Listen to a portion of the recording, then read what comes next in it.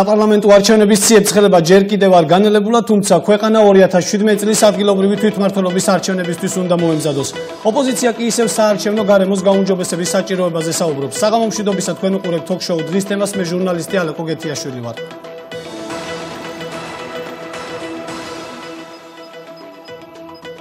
ოპოზიცია ხელისუფლებას ადგილობრივი თვითმმართველობის არჩევნებამდე საარჩევნო კოდექსში ცვლილებების შეტანას თხოვს. კვალიფიციური ოპოზიციური პარტიები ამ საკითხზე დღეს მსჯელობდნენ. რა ცვლილებები უნდა შევიდეს საარჩევნო კოდექსში და არის თუ არა ოპოზიციაში აზრთა სხვადასხვაობა აღნიშნულ საკითხთან მიმართებაში? მოხდება თუ არა პარტიების გაერთიანება რა გეგმები აქვს საკოორდინაციო საბჭოს წევრებს? დღის თემაში პოლიტიკური პარტიების გეგმებზე და საკანონმდებლო ცვლილებებზე დემოკრატიული მოძრაობის ერთ-ერთი ლიდერი გიორგი ახვლედიანი ისაუბრებს.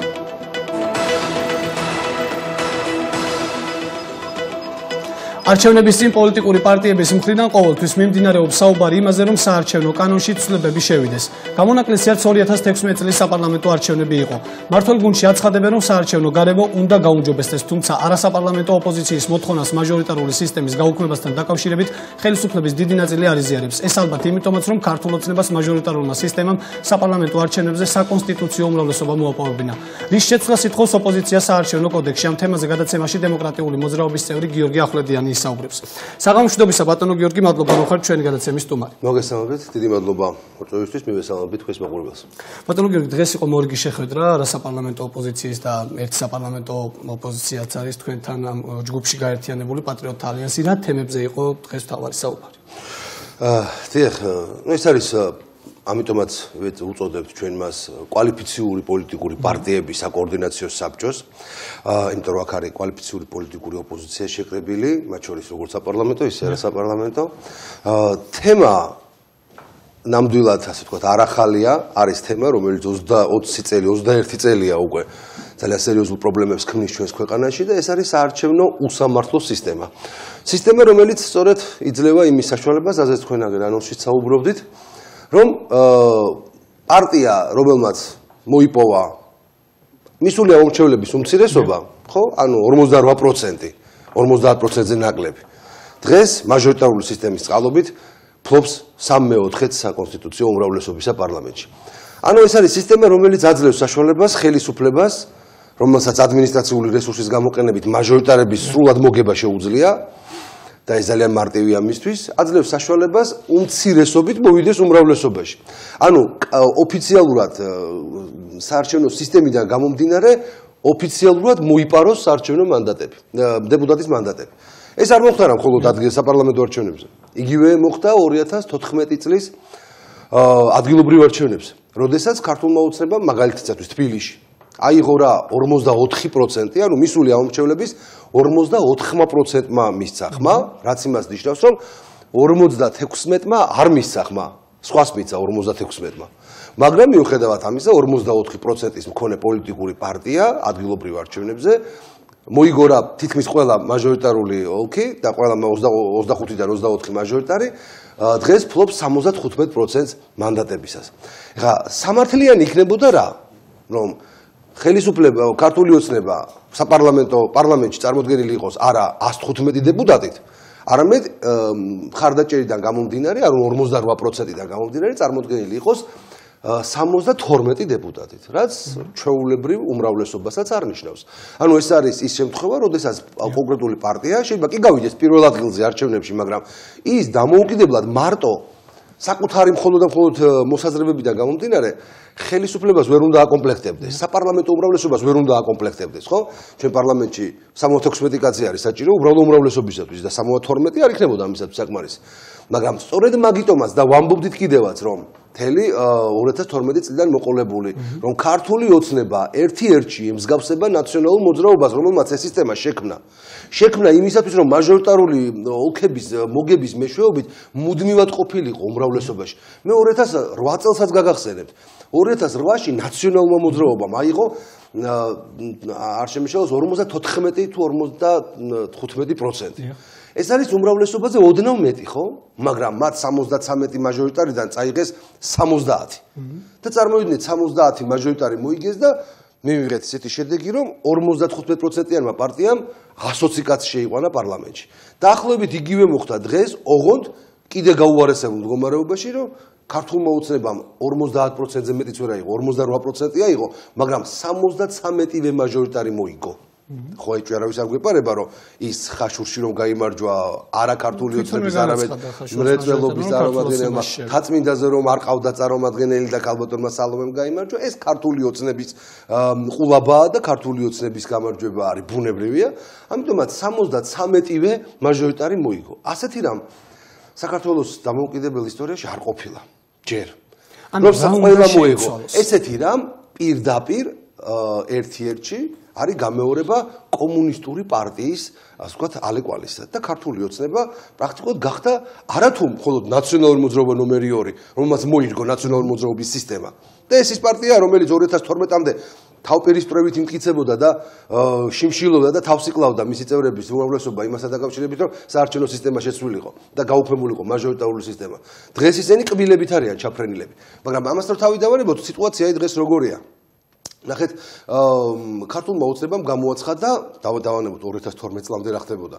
აი სულ რაღაცა რამდენიმე თვის წინ ის ამბობდა, რომ აი 2016 წლის შემდეგ რო არჩევნები იქნებაო, ის ჩავატაროთო უკვე სამხარო რეგიონულ პროპორციული სისტემით. ანუ გავაუქმოთ მაჟორიტარული სისტემა და გადავიდეთ პროპორციულ სისტემაზეო. აა ოღონდ 2016 წელი ჩაგვატარებინეთო. 2016 წელს მოგვაპარინეთო აი ესე კანონიერადო კიდე ერთხელ მანდატებიო. რაც გააკეთეს კიდევაც, ხო?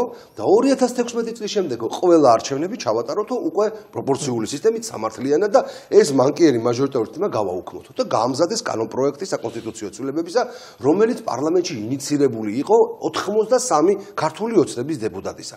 პარალელურად შევიდა ოპოზიციის მიერ ინიცირებული კანონპროექტი, ასევე პრომაჟორიტარული სისტემის გაუქმების და პროპორციულ სისტემაზე გადასვლის თვალსაზრისით 200.000 მოქალაქის ხელმოწერით.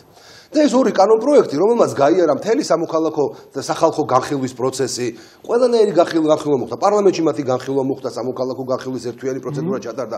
ყველაფერი გაიარა, ყველა პროცედურა რაც არის გათვალისწინებული განხილვის და ელოდება ეს ორივე კანონპროექტი კენჭისყრას. უცებ გამოდის ქართული ოცნება უკვე ახალ პარლამენტში და გვეუბნება.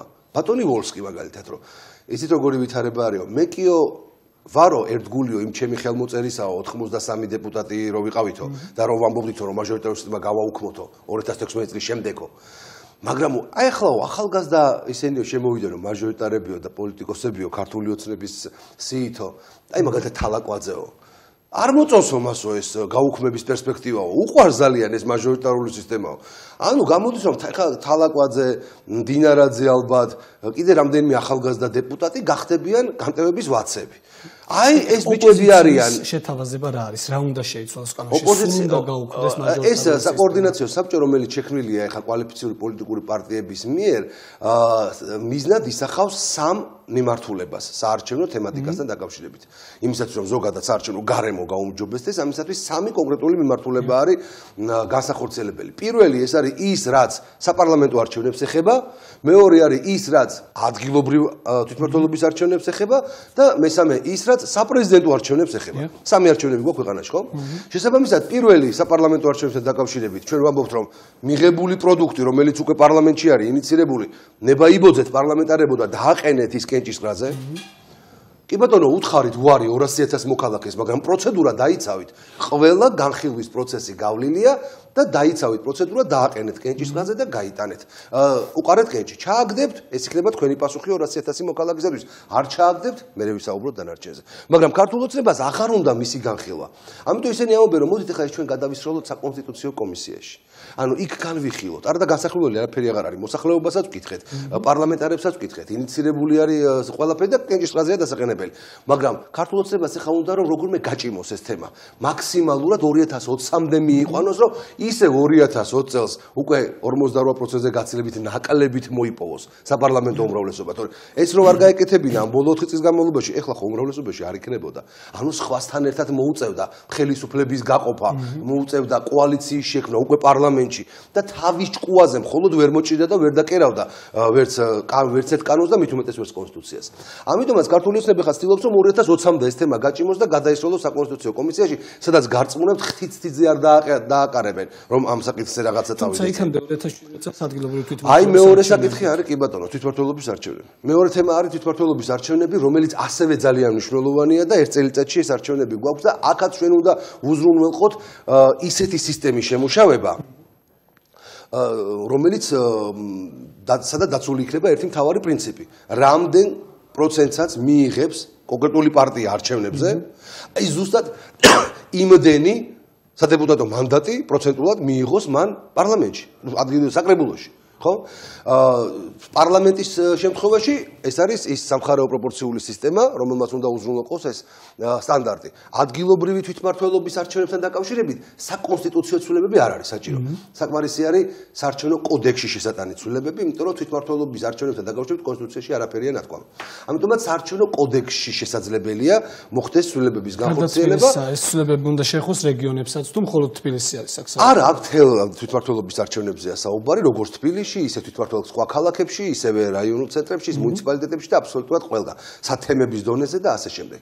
აი ხა აქ როგორი სიტუაცია? აქ ჯერჯერობით ჩვენ საკოორდინაციო საბჭოში მიმდინარეობს კონკრეტული ვარიანტების გაანალიზება. ბევრი ასე თქვათ მ, სისტემა არსებობს არის ჯერ ყველა პარტიას შორის არა, ჩვენ ძირითადად ვთანხმდებით, რომ უნდა მივახციოთ საკანონმდებლო რეგულაციებით ისეთ პრინციპს, რომ დავიცვათ რამდენ პროცენტსაც აიღებს პარტია, იმდენი პროცენტით შედიოდეს პარლამენტში. არც მეტით, არც ნაკლებით. რომ გამოვრიცხოთ, რომ უმცირესობით უმრავლესობაში მოვიდეს და ასე შემდეგ, ხო? ამაზე ვარ შეთანხმებულები. ეხლა მიმდინარეობს სოფლიოში არსებული სხვადასხვა წარმატებული პროექტების და წარმატებული სისტემების გაანალიზება, იმიტოს რომ საიდან ავარჩიოთ ამ შემთხვევაში ადგილობრივი თვითმმართველობის მიმართულებით საქართველოსთვის ყველაზე გამოსადეგი ვარიანტი. აქ არის შესაბამისად, აქ არის აა, საკითხი დგას ეს რომ გარკვეული სისტემებიდან შეიძლება გარკვეული ნაწილებით მოხდეს ერთი საერთოს ჩამოყალიბება. ანუ საუკეთესო მოდელი რომ მივიღოთ. აქ არის საუბარი იმაზე, რომ თქვა გარკვეულ პოლიტიკურ პარტიებს აქვთ ხედვა, რომ ამ შემთხვევაში აუცილებელი არის დათვლის მექანიზმის მიმართულებით გერმანული სისტემის შემოღება, ძალიან საინტერესო პროცესი არის.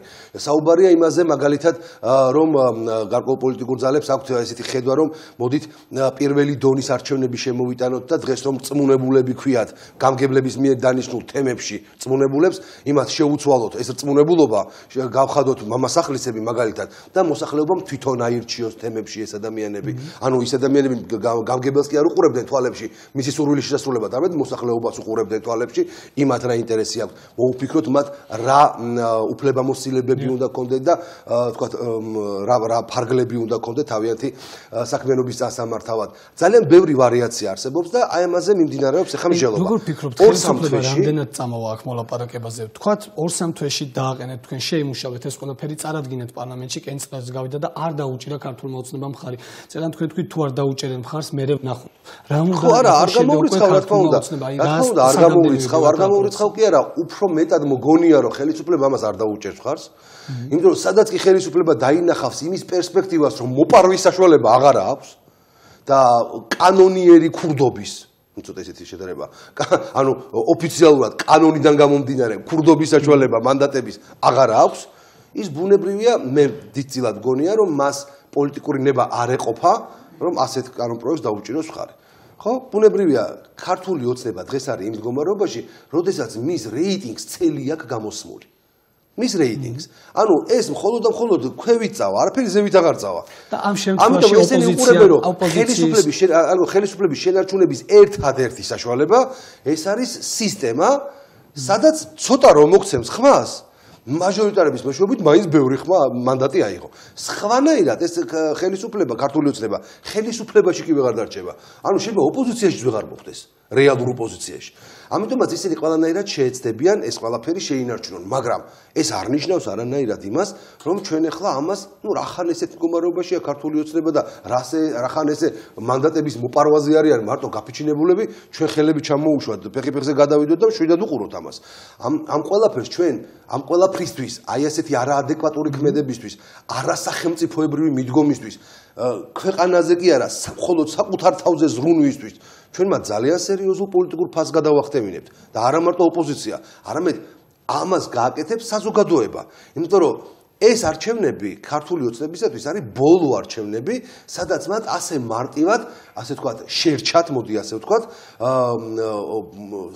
სხვისი მანდატების მოპარვა და მაჟორიტარების მეშვეობით უმრავლესობის მიღება. 2020 წლისთვის ოპოზიცია 2020 წლამდე ძალიან დიდი დრო არის. ძალიან დიდი დრო ცოტა სხვა თემაზეც გადავიდეთ. 2020 წლისთვის როგორ წარმოგიდგენიათ თქვენ ოპოზიცია უნდა გაერთიანდეს და პარლამენტის იბრძოლოს ისე ადგილების მოსაპოვებლად თუ ისე ცალ-ცალკე უნდა იყოს? ხო, გაერთიანებას რაც შეეხება, ეს არის თემა, რომელიც ასე მარტივად გადასაწყვეტი არ არის. მიუხედავად იმისა, რომ პრაქტიკულად დღეს ყველა ოპოზიციური პოლიტიკური ძალა თulis რომ გარკვეული კონფიგურაციების გადაჯგუფებების გახორციელება საჭიროა, გარკვეულწილად გაძლიერება, გამსხვილება ნამდვილად პრიორიტეტი არის. აა ძალიან ბევრნაირი, ასე ვთქვათ, წინაღობა აქვს ამას. ეს არ არის იოლი პროცესი. პოლიტიკური ორი პოლიტიკური პარტიის ერთად თქვათ დაждდომა და ბლოკის ჩამოყალიბება არასოდეს არ არის იოლი საქმე. ამიტომ მე ძალიან ასე ვთქვათ წინასწარ ვერ დავიწყებ ერთ მარჩიელობას, ვერ რაღაცა მარჩიელობა. ფორმაში საუბარს. 2016 წელს ჩვენ ნახეთ მე მაქსოს პატრიოტ ალიანსი მაშინ აცხადებდა რომ გარდა ნაციონალებისა და რესპუბლიკელებისა ყველა პარტიას მოუწოდებდა მოდით დავჯდეთ ვილაპარაკოთ გავერთიანდეთ არჩევნებში მივიღოთ ერთად მონაწილეობა რადგან ასეთი მანკერის არჩევნო პრაქტიკა გვაქვს და ერთად გავიდეთ რომ საკონსტიტუციო უმრავლესობა არ მოიპოვოს ხელისუფლებამ. თუმცა მაშინ არ იყო გაერთიანება, მხოლოდ ექვსი პოლიტიკური ძალა გაერთიანდა. საქმე ის არის რომ ეკლექტური გაერთიანება გაერთიანება არ არის. არ არის გაერთიანება მხოლოდ და მხოლოდ გაერთიანება გაერთიანებისათვის საზოგადოებისათვის მისაღები არ არის. უნდა იყოს შინაარსობრივი გაერთიანება. და როდესაც ხდება ყველას გაერთიანება, ამ დროს ერთადერთი გამართლება აქვს ამას, როდესაც მემარჯვენე და მემარცხენე და იდეოლოგიურად განსხვავებული პოლიტიკური პარტიები ერთად დადგებიან, ამაში და ერთადერთი გამართლება კონდეს, როდესაც რევოლუციური სიტუაციაა ქვეყანაში. როდესაც ყველანი ერთის წინააღმდეგ გაერთიანებისკენ ასე ვთქვათ, მიმართული არის. და დღესდღეობით საზოგადოებრივი განწყობები ძალიან დიდი ნაბიჯებით მიდის ამისკენ. ანუ არ იყო 2016 წელს ერთის წინააღმდეგ. არა, არა, 2016 2012 წელს ქართული ოცნებას აგერ კოალიციური სისტემით 2016 წლის 8 ოქტომბრი ოქტომბრის წინასაარჩევნო კამპანიის დროს რევოლუციური მდგომარეობა არ ყოფილა. და საზოგადოებაში განწყობა რომ ყველანი ერთად გაერთიანდით ამათ ჩამოსაგდებად ეს განწყობა არ ყოფილა თვალებს ჩავხედოთ სიმართლეს. ანუ გარკვეულწილად ხო დავინახეთ რომ მით უმეტეს არ იყო სურვილი ეკლექტური გაერთიანებებისა. ანუ ისაც ქართულმა ოცნებამ გააკეთა მაგალითად, ხო? გაერთიანდა ნაციონალური მოძრაობის წინააღმდეგ სრულიად ეკლექტური პოლიტიკური ძალების მეშვეობით, მაგრამ მე პარლამენტში კი არ დაყო ესენი. არჩევნებამდე ორი თვით ადრე გააკეთა. 4 წლის განმავლობაში ქვეყანა მართა უფრო ზუსტად ვერ მართა აი ამ ეკლექტურმა კოალიციამ. როგორ უნდა ემართა ერთად კონსერვატორს და რესპუბლიკელს. როგორ უნდა ემართა ერთად ფორუმს და თუმცა 2016 წელს რომ გაერთიანებულიყო ოპოზიცია, ასე კითხოთ 2016 წელს რომ არასაპარლამენტო ოპოზიცია გაერთიანებული. მე ვქევარ ეხლა წინასწარ მე ყველს. რა აიღებდა საკონსტიტუციო უმრავლესობას. აი ეს ის პროცენტები, რას თქვენ ოპოზიციამ მოაგროვეთ ერთად რომ შესულიყო. რა თქმა უნდა, აიღებდა. რა თქმა უნდა, აიღებდა. როგორ ვერ აიღებდა, როდესაც 73 მაჟორიტარიდან 73 მოიგო ქართულმა ოცნებამ. როდესაც დემოკრატიულ მოძრაობას, ლეიბორისტულ პარტიას, თავისუფალ დემოკრატებს პირდაპირ აი ესე წაართვეს ბიულეტენები, მათი ბიულეტენები აიღეს დათulis დროს მათი შემოხაზული ნომრებით, ხო? და ჩვენ ამის უამრავი მტკიცებულება გვაქვს. და გადაიდეს თავისთვის და ნაციონალური მოძრაობისათვის. ეს ხო ფაქტია. და ის იმით მტკიცდება ყველაფერს თავი დავარებოდ, რომ ერთი უბანი ვერ გახსნა ქართულმა ოცნებამ. გახსენით უბანი ვეუბნებოდით უამრავ სასამართლოში და გადავთვალოთ ყველა მედიის თვალდასწრებით. გადავთვალოთ და ვნახოთ რეალობაა თუ არა ჩვენი ეჭვები. მაგრამ ქართულ მოწმობამ ეს ვერ გააკეთა. ჩვენ დრო იწურება საკონსტიტუციო კომისიაზეც მინდა კითხოთ აუცილებლად. მიიღებს თუ არა თქვენი პარტია მონაწილეობას და როგორ ფიქრობთ პრეზიდენტის ადმინისტრაციის უარი რომ ჩაერთოს საკონსტიტუციო კომისიაში? როგორ შეაფასებთ ამ? ისეთ მე პირადად ძალიან მაღალი ეჭვი მაქვს იმისა, რომ ეს საკონსტიტუციო კომისია იქმნება ერთადერთი მოტივით, მაგრამ მაქვს ეჭვი და არა დადასტურებული რა თქმა უნდა წინასწარმეტყველება. მაქვს ძალიან მაღალი ეჭვი, რომ ეს მხოლოდ და მხოლოდ ბიძინა ივანიშვილის გარკვეული ხუშტურების დასაკმაყოფილებელი საკონსტიტუციო კომისია იქნება. ანუ იმის დასაკმაყოფილებელი უპირველეს ყოვლისა, რომ ამ შემთხვევაში ის ადამიანი რომელსაც გაებუდა ბიძინა ივანიშვილი პრეზიდენტი აღარ ავირჩიოთ პირდაპირ წესით. ეხლა მე ეჭვი მაქვს რომ მარგველაშვილი ვერც პირდაპირ წესით ვეღარ გახდება პრეზიდენტი და ვერც არაპირდაპირით, მაგრამ ბიძინა ივანიშვილის თავარია ახლა საპრეზიდენტო ინსტიტუტის ჯიბეში ჩადება. ყველაფერი ჯიბეში ჩაიდო. პარლამენტი, მთავრობა, მალე მედია სივრცეში აღარ დარჩება პრაქტიკულად მისი კონტროლის გარეშე არაფერი და საბოლოო ჯამში ეხა ერთადერთი დარჩა თუნდაც სიმბოლური სახით, მაგრამ პრეზიდენტის ინსტიტუტი. ამიტომ ამ პრეზიდენტის ინსტიტუტის ჯიბეში ჩადება არის მიზანი. ეს ყველაფერი იქნება შეფუთული ესეთი გარნირით, რომ ეს შეიძლება არაპოპულარული ნაბიჯი არის მისი მხრიდან, მაგრამ აი პოპულარული ნაბიჯებით შეაზავებს. ეს არის ქუთაისთან პარლამენტის გადმოტანა თბილისში და მეორე ეს არის ქორწინების განსაზღვრება ქალისა და მამაკაცის კონტექსში. რაც მეტნაკლებად შედარებით პოპულარული თემა არის. დანარჩენისთვის ქართული ოცნება მზად არ არის. 30 აპრილი რო გამოცხადა ბოლოვა და ეს იმასია რომ სხვას არაფერს არ აპირებენ. იმიტომ რომ იქ არის თვითმართველობის უზარმაზარი მუხლი, თავი ღია და თვითმართველობის დარეგულირება საკონსტიტუციო მიმართულებით, ამას ქართული კანონმდებლები კი ამ სოფლიო იურისტები ვერ მოახერხებენ ორთვეში. გამორიცხული ამას ჭირდება მინიმუმ 1 წლიანი ან 2 წლიანი მუშაობა პერმანენტული. ამიტომ ეს ნიშნავს იმას, რომ ესენი აპირებენ სერიოზულად მხოლოდ და მხოლოდ ბიზნეს ივანიშვილის გულის მოსაფხან საკითხების მოგვარებას. ეხლა აქ როგორი სიტუაცია? მაშინ რატომ მონაწილეობ? ჩვენ დავაყენეთ საკითხი, რომ იცით, აი ეს არ იყო გაჟღერებული, ეს იყო ამ შემთხვევაში კონსულტაციები და კოლუარული მოლაპარაკებები და ვთქვით, რომ ხო არ გამოვაცხადოთ საერთოდ ბოიკოტი. ოღონდ საყოველთაო ბოიკოტი. ისეთი ბოიკოტი კი არა, რომ ორი შევიდეს, სამი დარჩეს, ოთხი არ მივიდეს, ხუთი გამოვიდეს. არა, თუ გამოვაცხადებით ბოიკოტს, უნდა ყოფილიყო აბსოლუტურად ყველა ერთის წინააღმდეგ. ანუ დაგვეტოვებინა მარტო ქართული ოცნება, რომელიც ბუნებრივია თავის თავთან ხო ვეღარ შექმნიდა საკონსტიტუციო კომისიას და იძულებული გახდებოდა ელემენტარულად შეეცვალა თავისი პოზიციები. რა პოზიციაზე გულისხმობ? როდესაც დაბლოკა და გაყარა საკონსტიტუციო კომისიიდან კვალიფიციური სუბიექტები. ხო? 20 კვალიფიციური სუბიექტია დღეს საქართველოში და მხოლოდ 6 მიიღებს მონაწილეობას ოპოზიციიდან ამ კომისიაში. რატო? იმიტომ რომ პირველი ნომრები ბლოკებისა თურმე მისაღები არის ქართული ოცნებისათვის, რომ იყვნენ წარმოქმნილი კომისიაში. და 13 კვალიფიციური სუბიექტი უბრალოდ ამოაგდეს. იმიტომ რომ ის კვალიფიციური სუბიექტები რამეში ხელს უშლიან პიროვნულად, არამედ იმისათვის, რომ ქართულ ოცნებას ორჯერ და უფრო მეტი უმრავლესობა ქონდეს ოპოზიციაზე. 27-ნი არიან ახლა ქართული ოცნების წარმომადგენლები და 12 იქნება ოპოზიცია მთლიანად. ამიტომ მაგრამ რახან საყოველთაო ბოიკოტი არ გამოვიდა და გარკვეულმა პოლიტიკურმა პარტიებმა მაინც განაცხადეს რომ ჩვენ შევალთ მაშინ დემოკრატიულმა მოძრაობამ ვთქვით რომ ეხა უკაცრავად მაგრამ მარტო ჩვენ აღმოჩნდეთ ბოიკოტის რეჟიმში არაადეკვატური იქნება ჩვენი მხრიდან და ძალიან არასწორი პოლიტიკა. ამიტომ მოდით შევიდეთ და დავიწყოთ მუშაობა ოღონდ ჩვენ იქ შევდივართ იმისათვის რომ უპირველეს ყოვლისა დავაყენოთ ის კონკრეტული საკონსტიტუციო ინიციატივები, რომლებიც ჭირდება კონსტიტუცია და შესაბამისად ქვეყანას. ანუ ეს არის საარჩევნო თემატიკა, ეს არის თვითმართველობის თემატიკა, ეს არის სასამართლოს თემატიკა, ეს არის მთავრობის უფლებამოსილებები. აი ამ მიმართულებით ხელისუფლება დაგვანახებს, რომ მათ პოლიტიკური მზაობა აქვთ იმუშაონ. მაშინ ჩვენ ვიმუშავებთ მათთან ერთად, მაგრამ თუ დავინახავთ, რომ მართლა მხოლოდ ბიძინა ივანიშვილის გულის მოსაფხანად ვართ იქ, მერწმუნეთ ჩვენი დიდხანს არ გავჩერდებით. დიდი მადლობა გადაცემაში მონაწილეობისთვის ჩვენი სტუმარი დემოკრატიული მოძრაობის წევრი გიორგი ახვლედიანი იყო